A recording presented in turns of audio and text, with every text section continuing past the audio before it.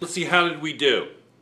Well, the first one, acceleration, is probably the easiest.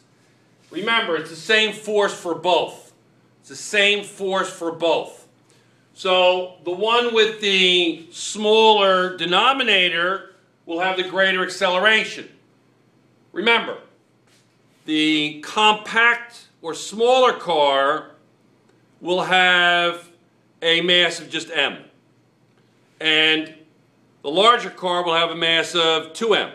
So the acceleration will be greater with A. Now, it's a greater acceleration. Therefore, it's going to achieve a greater velocity when it hits that cliff.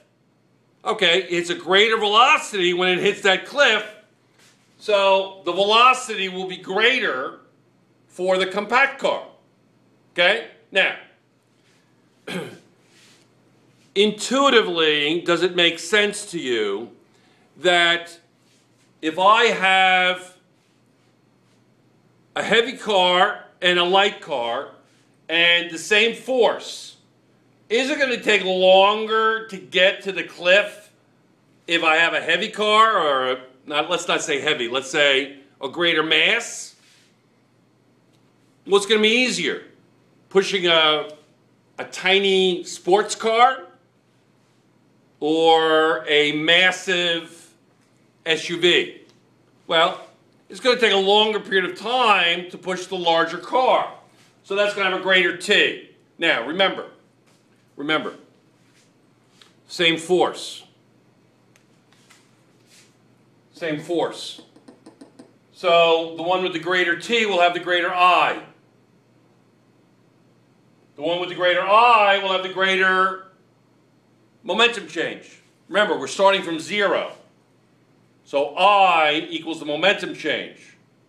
So greater momentum change, the larger the final momentum.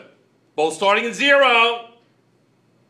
Rewind that and see if you understand that.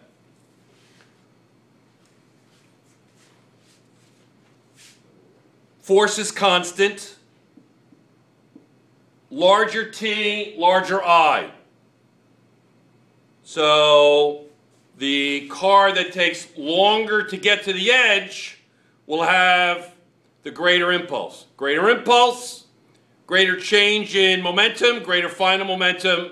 So the B, the larger cars, B, that will have a greater impulse and momentum at the end. Greatest change in momentum. Okay, now I'll come back. We're going to do a few more, um, and then we'll quit. All right, be right back.